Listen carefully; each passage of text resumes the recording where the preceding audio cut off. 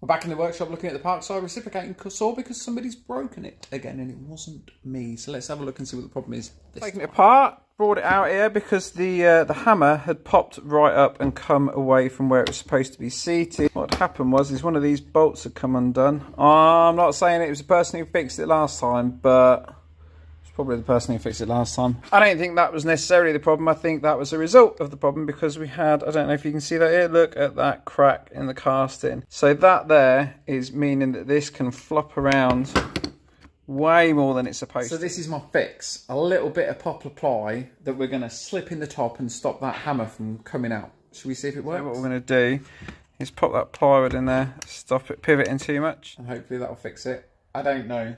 Uh, as long as it fixes it enough to break the pallets up, that's all I'm really bothered about. So let's have a look. Fix the how long? How long do you think the repair's going to last? There, you let me know below. You have a great day.